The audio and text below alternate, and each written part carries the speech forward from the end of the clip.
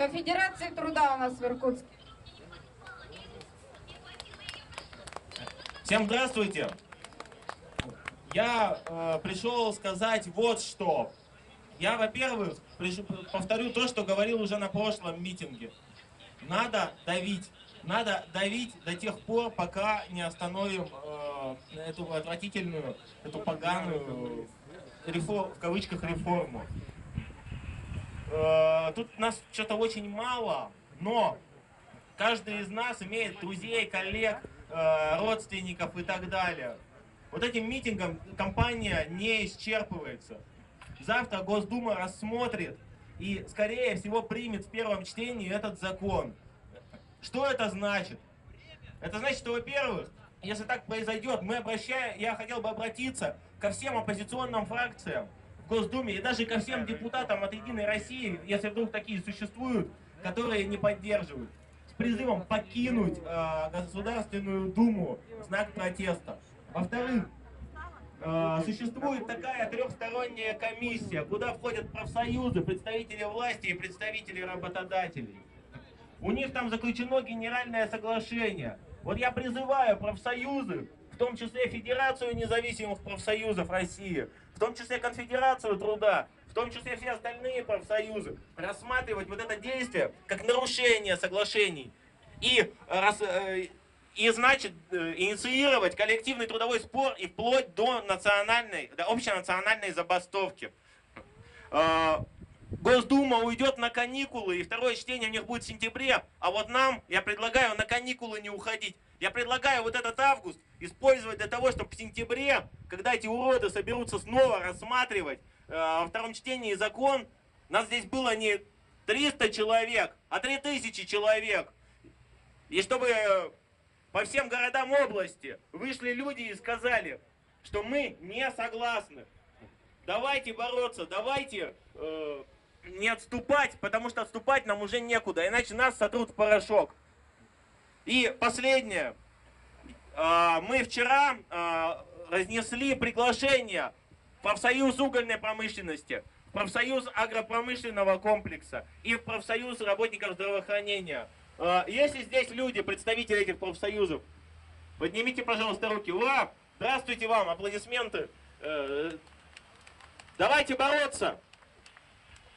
Давайте бороться, приводите своих членов профсоюзов, присоединяйтесь к Комитету противодействия пенсионной реформе.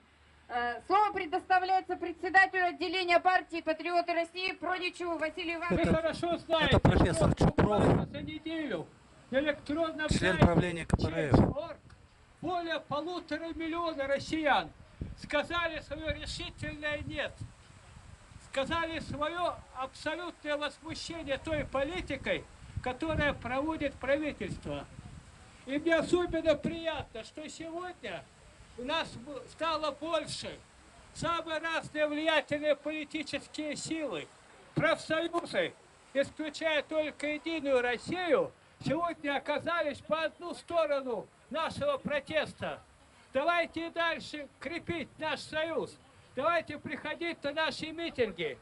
Когда пытаешься анализировать современную политическую ситуацию, конечно, случайно проект по пенсионной реформе появился в дни чемпионата мира по футболу.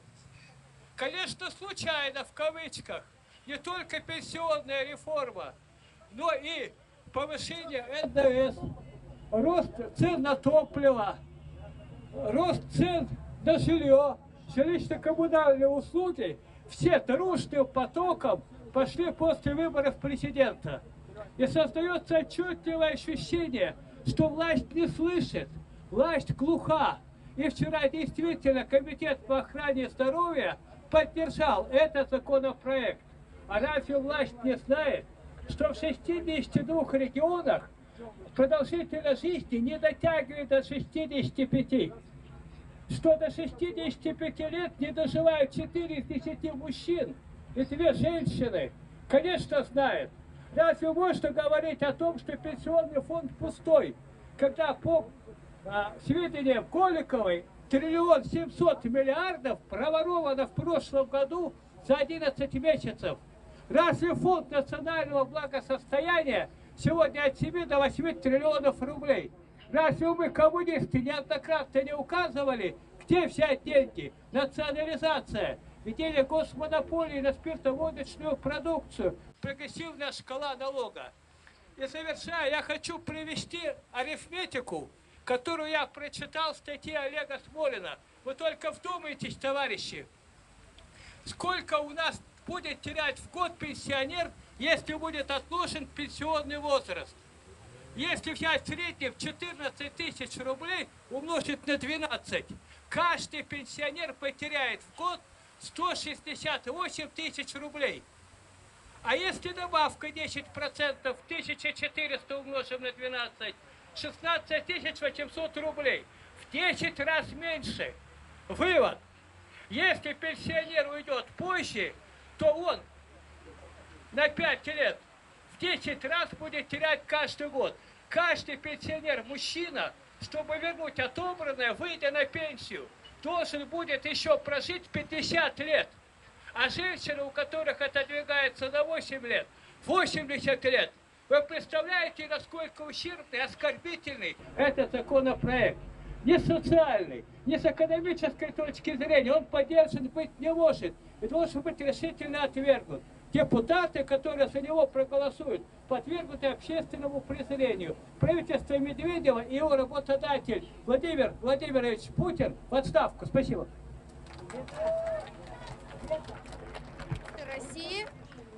Шевчук Анатолия Владимировича. Здравствуйте, товарищи. Спасибо большое, что вы пришли. Нас надо приходить намного больше. И чтобы от нас что-то зависело, от нас ничего не зависит. Верите или нет? А эти делопуты, возьмите такого делопута Миронова, партия «Справедливая Россия». Только вдумайте, что я скажу. Он говорит, как я сожалею, что я голосовал закон о монетизации. Помните это? Отобрали льготы. Тот же Жириновский один в один говорит, как я жалею, что я проголосовал за этот закон. Вы поняли? Вот вся догма, вот вся истина, вот вся правда. И хочу сказать последние слова. Наша пенсионная реформа и так малозначительна. Как живут эти пенсионеры за границей? Помните этого мэра города Киева? Говорит, там пенсионеры нигде в очереди не стоят, кроме одной очереди, за путевками. А у нас человек родился, надо платить, умер, надо платить, везде надо платить. Это уже истина нашей жизни. Никогда ты не добьешься инвалидности по закону. Никогда. За исключением, когда ты заплатишь. Это все знают. Но мы молчим, мы не можем собраться. Мы всегда остаемся один на один со своей бедой. Так я говорю, правильно? Вот и все. Давайте просто объединяться. И нас развели на многие партии, чтобы мы были, как говорится, разрознены.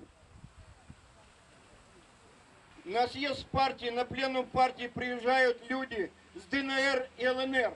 Вы представляете, что они говорят? Как пытают. По четыре месяца сидят они в СБУ, их пытают, пытают. Здоровья вам, счастья, надо бороться. Оставаться один на один У нельзя. власти это не либеральная власть. И что мы видим? Нас закатывают в асфальт. Вы посмотрите, за 25 лет после по- Великой Победы в 45 году, за 25 лет было восстановлено весь народно-хозяйственный комплекс страны. И шла страна в развитие. Пришли эти бандиты, разрушили все, что создано было народом. Я задам риторический вопрос всем иркутянам. За что воевали наши деды? Наши отцы восстанавливали всю эту страну. Эти бандиты с каждым днем уничтожают права. Где гарант Конституции Владимир Владимирович Путин? И вот сегодня меня радует, что наконец-то, как в Омске, 12 тысяч собралось. Сибиряки спасли Россию от гнета фашистов. Я каждый сейчас будет думать о своих правах. Гаранта Конституции нету, потому что он привел обратно Медведева это бандитское правительство всю страну превратили в кущевку. Разве может прожить офицер, э, на которого дали пенсию, да, которые ушли при Советском Союзе, и дают силовым структурам, да? Вы проснитесь, мужчины, вашим матерям, вашим сестрам поднимают пенсионный возраст на 8 лет. Это какая экономия у государства? Просто Чупров не дал расчет. А мы просто посидели, там триллионы долларов, если все это посчитать. Я призываю по Конституции статьи 3, вся власть принадлежит народу. И хватит ждать от этой профашистской власти, я даже скажу, уничтожающей свой народ. Вставайте, иркутяне, будем бороться с этим антизаконным режимом, антинародным. Вот все, все последнее, все, что у них отбирают, это жизни наших матерей. Иркутяне против в отставку правительства Медведева. Ура, товарищи! На сцену приглашается активист партии «Яблоко» Никита Ганжа. Молодежь, вперед! Привет, Иркутск! Я на самом деле э, очень рад все, э, горжусь всеми, кто сегодня сюда пришел. Вы все большие молодцы. Давайте все друг за друга еще раз покричим, поаплодируем, просто тому, что мы сегодня все здесь собрались, что мы сегодня здесь против пенсионной реформы.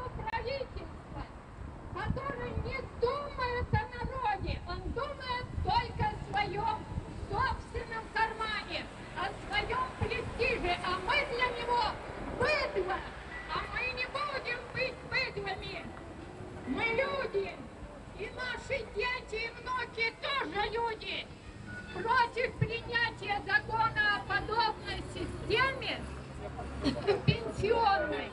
Как будут жить наши дети? Мне очень приятно, что и творческая интеллигенция иркутская может сказать сказать, что-нибудь олицетворяю в своем э, обширном лице, слегка вытянутом от последних событий, все, можно сказать, творческую интеллигенцию, хотя сегодня здесь видел человека с гитарой, возможно, он тоже к этому имеет некоторое касательство. В силу э, вышеизложенного полагаю свою монументальную миссию в том, чтобы олицетворить как следует, отметиться, обозначиться, чтобы, так сказать, не было вакуума и дыры э, в оном вышеозначенном аспекте. Вот все прекрасно, если бы в твоем, в твоей интонации Запись была запись, она включена. Включена, включена. Это не только запись, но еще и э, трансляция, Пропуск. прямой эфир. трансляция понятно, Да. Ага. Все, все передадим. Оперу пишем. Привет. Короче, вот все было бы хорошо, если бы в твоем голосе, интонации и в твоей речи не было стеба. Вот нету серьезности, понимаешь? Скажи спасибо, что в этом присутствуют буквы С и Т.